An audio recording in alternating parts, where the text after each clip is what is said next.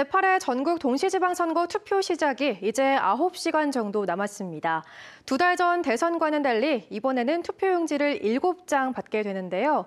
투표에서 주의하실 사항들 김은초 기자가 알려드립니다. 텅 비어있던 투표장에 기표소가 하나둘 설치됩니다. 투표 주의사항이 적힌 포스터도 눈에 잘 띄는 곳에 붙여놓고 개표소에서는 책상부터 볼펜 하나하나까지 소독 작업에 한창입니다.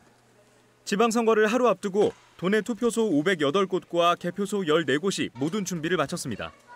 이번에는 발열 체크는 따로 하지 않고요. 어, 비닐 장갑도 원하시는 분들에 한해서 어, 끼고 투표하실 수 있습니다. 충북 지역 유권자는 136만여 명. 이 가운데 사전 투표를 마친 21.29%를 제외한 107만여 명이 내일 본투표에 참여합니다. 사전 투표율은 36.16%를 기록한 지난 3월 대선 때보단 낮지만 역대 지방선거 중에서는 가장 높았습니다. 내일 본투표에서 충북 유권자는 투표용지 7장을 받고 일부 무투표 지역은 6장을 받습니다. 사전 투표와는 달리 미리 인쇄된 투표용지를 두 번에 나눠서 받게 됩니다. 먼저 도지사와 교육감, 시장 군수 투표를 1차로 마치고요.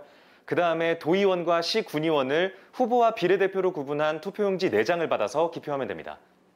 두 명 이상의 후보자에게 기표하시면 무효가 되고요. 투표용지 한 장당 어, 하나의 정당 또는 한 명의 후보에게 기표하셔야 합니다.